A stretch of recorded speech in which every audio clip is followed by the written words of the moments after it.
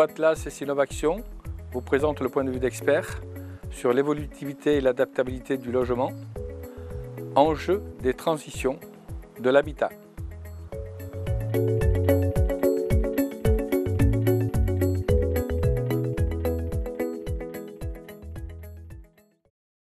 L'adaptabilité du logement, la, première question qu'on peut se poser, c'est sur euh, euh, son adaptation euh, au cycle de vie. Aujourd'hui, quand on travaille, par exemple, dans la nouvelle réglementation environnementale 2020, on a un cycle de vie conventionnel qui est fixé à 50 ans. Et donc on peut s'interroger bien entendu sur le choix de cette durée qui n'est plus simplement une durée comptable, mais qui est censée représenter l'amortissement de l'immeuble, notamment sur le plan carbone. Donc on peut imaginer aujourd'hui se poser la question de dans le temps comment va évoluer un bâtiment qui est coulé aujourd'hui, qui est réalisé aujourd'hui. Si on fait par exemple des fondations béton très coûteuses euh, en carbone et même économiquement, est-ce que leur durée de vie n'est pas supérieure à 50 ans? Et si c'est le cas, est-ce qu'il ne faut pas réinventer un, type de logement qui va pouvoir évoluer dans ces superstructures par exemple à partir de euh, matériaux biosourcés euh, plus légers, beaucoup moins chers, beaucoup moins lourds en carbone, qui pourraient évoluer jusqu'à des formes de déconstruction partielle en conservant par exemple un, noyau central qui serait lui bah, plus lourd mais beaucoup plus durable. Ce qui me fait penser à cette idée, c'est celle qu'on peut aujourd'hui voir dans le, milieu tertiaire, où on a euh, des, gratte-ciel qui régulièrement sont restructurés, repensés, reconstruits, mais toujours autour d'un noyau central en béton avec des plateaux qui, euh, lui, a une certaine durabilité, une certaine pérennité.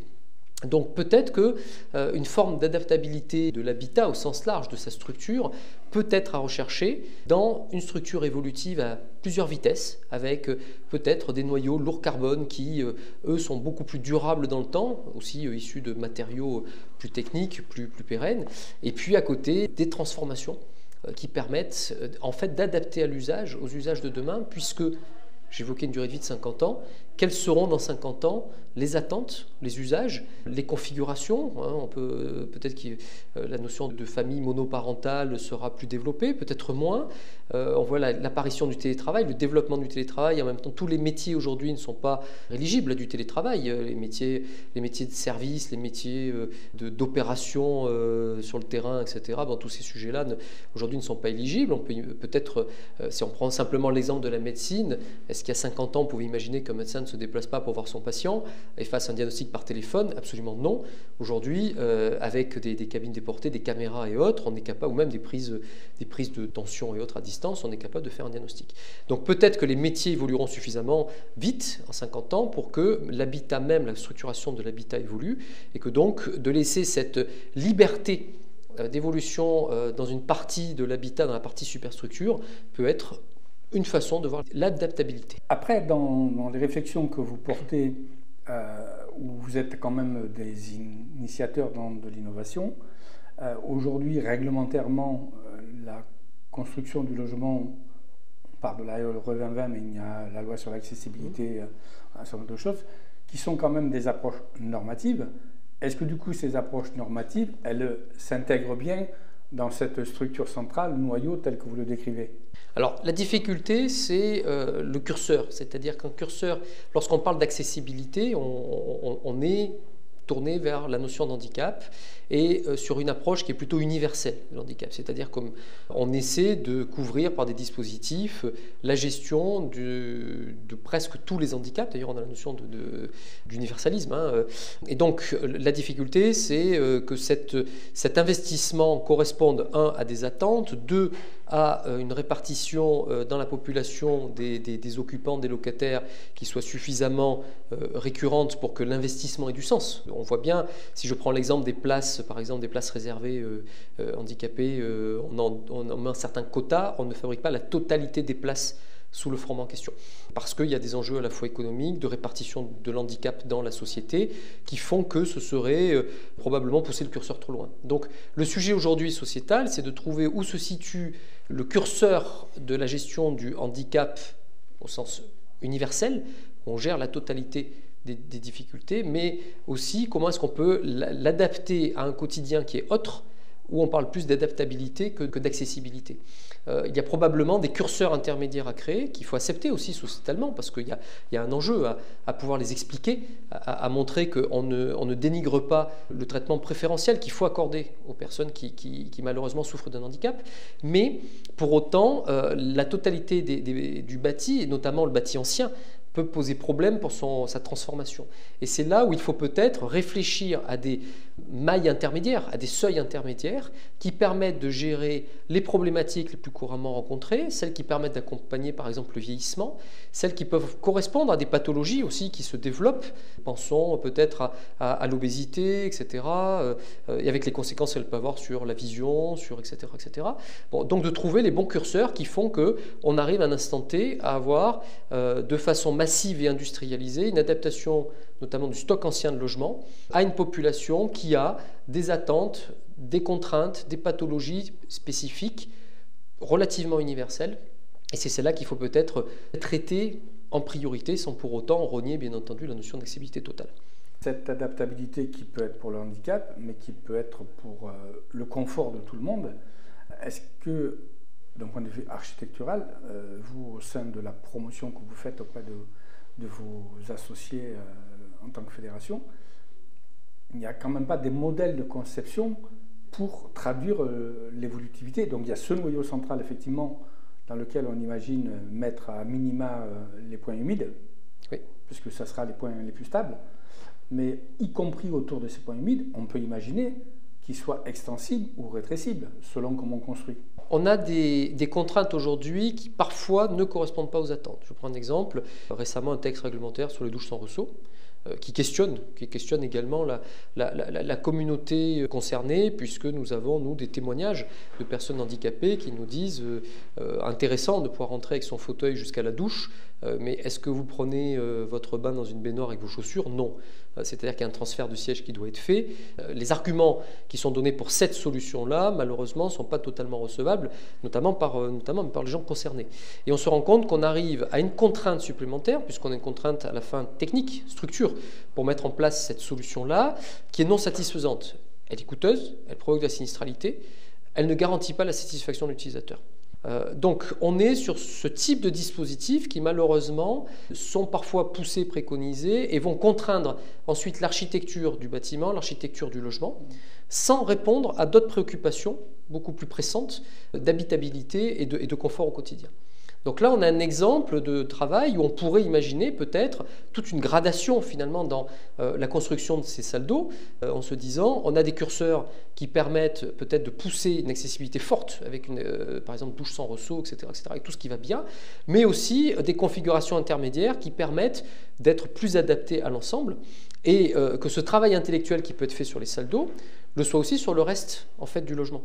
Aujourd'hui, on voit que finalement, euh, si, on caricature un petit peu, le salon, la pièce à vivre, euh, sa cuisine deviennent euh, l'espèce de plus petit dénominateur commun, c'est-à-dire qu'une fois qu'on a appliqué l'ensemble des règles, des normes au bâti, au logis, on a finalement des restrictions de surface, euh, des, règles de circulation qui sont imposées, et à la fin, avec une limitation du foncier, on arrive bon, bah, des surfaces qui sont contraintes, et, le plus petit périmètre presque non réglementé, en tout cas le moins réglementé, et qui souffre finalement, qui devient le point de contrainte, la plaque tectonique finalement de ces règlements, euh, ça devient la pièce à vivre, la grande pièce à vivre qui est euh, aujourd'hui euh, jugée, dans le rapport par exemple Jérôme Leclerc, comme insuffisante ou maltraitée. et si on prend le recul nécessaire, on se rend compte qu'elle est le produit effectivement de cet empilement de règles, de normes que architectes, maîtres d'ouvrage, maîtres d'œuvre, avec le maximum d'intelligence, essaient d'optimiser. mais à l'impossible, nul n'est tenu.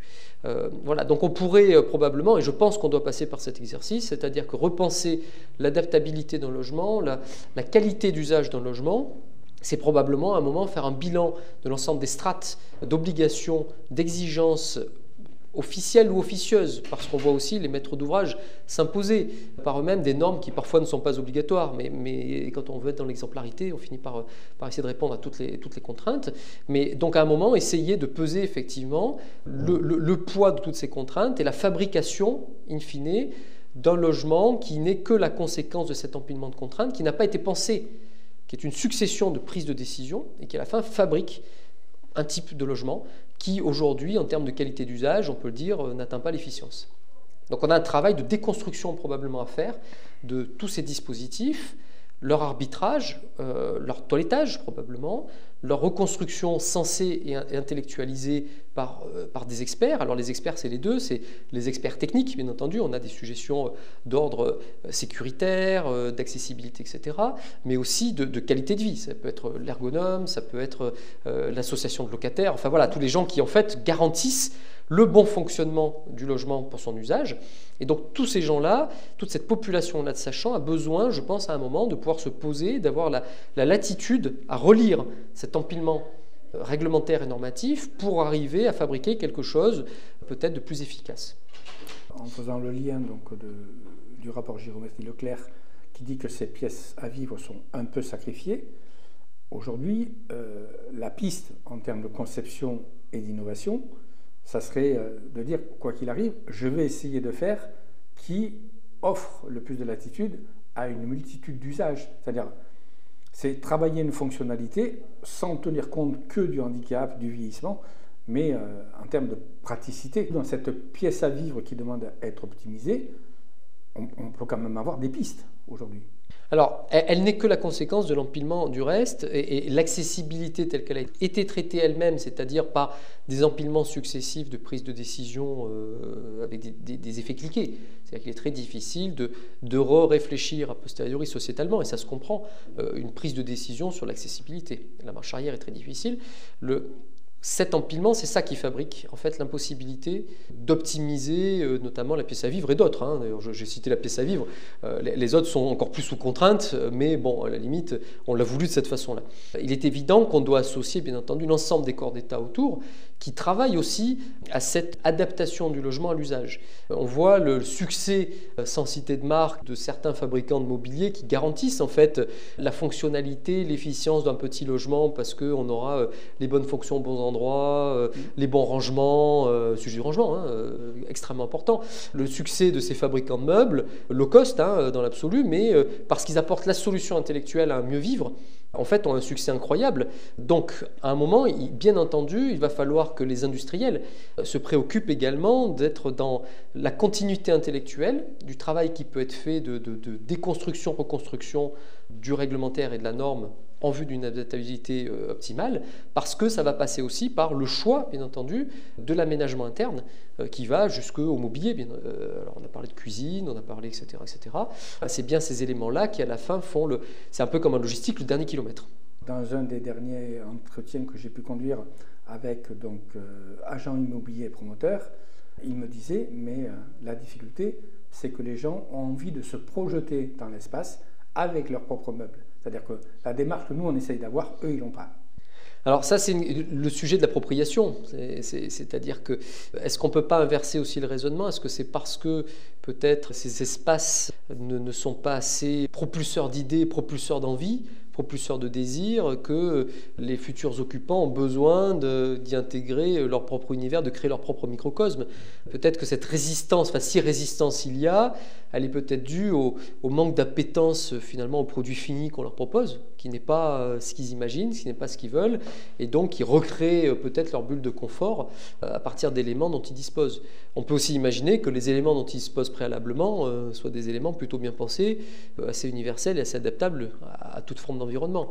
À nouveau, ces fabricants de meubles low cost que j'évoque vivent assez mal le déménagement, mais ils ont des choses qui sont pensées pour des espaces compacts et donc réutilisables, en fait, on va dire indéfiniment, quel que soit le, quel que soit le milieu. Donc, il y a une vue de l'esprit. On ne peut pas retirer aux gens la volonté d'appropriation. Par contre, ce qui serait intéressant, c'est de juger si ce besoin d'appropriation, de création de zones de confort est la conséquence finalement de la, production d'espaces peut-être trop anonymes ou trop inadaptés qui amène l'individu à se projeter avec ses propres affaires euh, pour recréer un peu de, finalement de chaleur, d'humanité, en fait, hein, comme il l'entend. Est-ce que le sujet c'est celui-là ou est-ce que c'est simplement le besoin d'être chez soi? Ça, c'est humain. Et est-ce qu'on ne peut pas composer les deux, c'est-à-dire euh, les experts avoir une approche très poussée sur la fonctionnalité donc vous disiez tout à l'heure, j'ai besoin de ranger, et du coup comment des cloisons peuvent devenir des éléments de rangement, et je laisse des parois disponibles pour de la déco, pour de la lumière naturelle, ainsi de suite. Voilà. Est-ce que du coup, cette conception de l'habitat, elle ne peut pas se décliner autrement que la fonctionnalité initiale, un peu la théorie de Maslow, des pièces. C'est manger, dormir. Est-ce que du coup, tout ce qui va avec, ça ne pourrait pas être associé dans la conception? On peut tout à fait imaginer aujourd'hui que la, séparation des métiers est une séparation artificielle et qui est aussi le produit d'une forme de fainéantise intellectuelle. C'est-à-dire que on, voit bien simplement la séparation juridique entre la notion de immobilier et mobilier et qui définit assez bien ce problème où d'un côté l'immobilier fournit le cadre immobile avec les structures, les murs, les espaces de vie qui sont pensés sur les fonctions effectivement de base. Fonction de base, la zone où on mange, la zone où on se repose, la zone où on se lave. Et à côté où cette appropriation de l'espace au sens mobilière du terme, n'a pas du tout été pensé. Et, je vais aller plus loin, on, la voit même dans les métiers, c'est-à-dire que cette, interface absolument imperméable aujourd'hui, on la découvre dans les métiers. On a d'un côté des architectes et de l'autre des architectes d'intérieur. Euh, c'est intéressant. Est-ce que l'architecte tout court, diplômé euh, du gouvernement, est-ce que c'est donc un architecte d'extérieur? Est-ce que c'est comme ça qu'il faut le comprendre? Il est architecte paysagiste éventuellement, donc l'extérieur peut intervenir à ce niveau-là. Mais euh, bon voilà, humour mis, à part, on, on, voit que cette distinction montre qu'on ne prend pas en compte en fait l'adaptation à l'usage. On a l'adaptation à une fonction, en fait, mais pas à l'usage domestique. Et il y a peut-être une une zone de progrès conséquente qui pousserait euh, le, maître d'ouvrage et ses conseils, l'architecte, à aller sur des projets peut-être beaucoup plus aboutis, mais qui doivent être beaucoup plus réfléchis, puisque finalement, aménager l'espace domestique, c'est plutôt créer la potentialité d'aménagement que d'imposer un type d'aménagement. C'est-à-dire qu'il ne faut pas rentrer, bien entendu, dans des résidences qui seraient déjà meublées, équipées, décorées. Là, on est dans une déshumanisation de l'espace. C'est le village euh, vacances. Exactement, la village vacances. Et puis, bien sûr, on en produit 6000, la le tous identiques. On voit dans le système, par exemple, dans l'ex-Union soviétique, on avait en, Hongrie la volonté de construire des maisons sensiblement identiques euh, avec une logique de, nivellement social. Euh, et donc on a, je crois, 400 à 600 000 maisons qui sont absolument identiques, que j'ai pu voir. C'est des maisons d'un seul étage, deux fenêtres sur chaque face, etc., carrées. Euh, et donc ce qui est très intéressant, c'est que pour s'approprier ces espaces-là, qui sont industriels, qui sont reproduits de façon industrielle et massive, les occupants, les habitants ont décoré les façades avec euh, euh, de la mosaïque, des détails, etc. Et, cette caractéristique aujourd'hui, il me semble, elle doit être sur une liste indicative UNESCO ou pas loin. Elle a été proposée par, par l'État hongrois, puisque c'est devenu dans le paysage une manifestation euh, finalement culturelle, intellectuelle des populations qui sont logées. Donc on, voit le besoin d'appropriation. Donc bien entendu, le travail de l'architecte, la volonté du maître d'ouvrage, le travail des conseils, c'est d'arriver probablement à aller plus loin sur l'aménagement domestique, c'est-à-dire à créer toutes les opportunités internes qu'on peut attendre, euh, des opportunités de rangement, l'efficacité du rangement, l'efficience du rangement, les espaces potentiels de décoration qui sont prévus, qui sont anticipés. Ça peut jusqu'à la disposition des radiateurs dans l'espace intérieur, s'il y a des radiateurs qui ne doivent pas occulter un mur ou qui permettent à ce moment-là soit du rangement, soit de la décoration. Donc toute l'intégration de cette façon-là, c'est probablement demain euh, une part non négligeable de l'adaptabilité du logement qu'on va créer par rapport au sujet qu'on a essayé de débattre, vous avez quelque chose de très précis à dire qui euh, serait intéressant pour le commun qu'on capitalisera après. Moi, je crois beaucoup justement à un assemblage complet, c'est-à-dire une synthèse de notre échange. La synthèse de notre échange, c'est de se dire, est-ce que demain on arrivera à avoir une pensée programmistique finalement des, dalles des dalles de béton ou autres, c'est-à-dire des structures les plus durables, des infrastructures, comme l'on l'indique, les plus durables Est-ce qu'on aura une pensée un peu plus dirigiste que ce qu'on peut avoir aujourd'hui Ou aujourd'hui, c'est l'opportunisme de la forme du foncier qui crée la dalle à peu de choses près alors que ça dessine la ville, ça dessine la ville, ça dessine la ville de demain. On le voit dans un PLU quand on a des, par exemple un règlement de, réalignement On voit bien que ça veut dire qu'on déplace les infrastructures pour qu'elles recréent une rue plus conforme aux attentes modernes. Donc moi je me dis peut-être que demain, une approche plus dirigiste sur des structures durables, lourdes en carbone, lourdes économiquement, est peut-être souhaitable, même si elle réduit un peu la liberté de la réalisation de, la promotion, et qu'ensuite peut-être plus de versatilité dans les élévations, avec des matériaux peu coûteux, faibles en carbone, et dans lequel par contre on pousse une adaptation vraiment plus optimisée jusqu'à l'usage, au-delà de la fonction, jusqu'à l'usage, l'usage du rangement, de la décoration, etc., en laissant la liberté, bien entendu, à l'occupant de, l'adapter, de la transformer. Donc on crée l'opportunité, le cadre qui magnifie ça. Et bien entendu, parce qu'on est incapable de prévoir ce qui se passera dans 50 ans, c'est ces étages qui ont une forme d'économie circulaire qui leur est propre, qui permet de recycler une partie des matériaux, enfin en tout cas de limiter les déchets, mais qui permet aussi la plus grande transformation possible. Et c'est probablement par ça qu'il va falloir passer, parce que on voit euh, l'ère numérique, la révolution numérique nous a montré à quelle vitesse aujourd'hui on avait des transformations sociétales fortes. Là où peut-être dans l'Empire romain, entre le 1er et le 2e siècle, les, transformations n'étaient pas majeures sur l'habitat, on voit aujourd'hui, si on regarde comment on vivait il y a un siècle et comment on vit aujourd'hui, je dirais comment on vivra simplement dans 10 ans, simplement dans 10 ans, les transformations sont telles qu'elles sont exponentielles et capitales. Et donc, peut-être faut-il penser ce modèle d'un habitat de superstructure, plus éphémère, en même temps mieux géré. Donc ça veut dire qu'on a prévu son recyclage, euh, le poids de déchets que ça peut représenter, etc., pour le minimiser au maximum, mais d'avoir donc une adaptation décennale, on va dire, de, de la superstructure aux attentes à la fois en termes de fonction et d'usage. Et c'est peut-être ça l'adaptation du logement de demain, en passant par euh, effectivement des formes de déconstruction et qui permettent d'aller assez loin, donc ne pas chercher un espèce de dénominateur commun qui ferait tout pendant un siècle, ce qui est une aberration, euh, qui ne marche pas, ou, qui nous amène à simplement rester, comme je dis, à la structure, parce qu'on ne saura pas aller plus loin, on ne peut pas imaginer les usages dans 50 ans. Et donc de se dire, eh ben, à ce moment-là, est-ce qu'on n'aurait pas une logique euh, déconstructive, très adaptée, et en même temps prenant la responsabilité de cette déconstruction, c'est-à-dire en tendant vers le zéro déchet?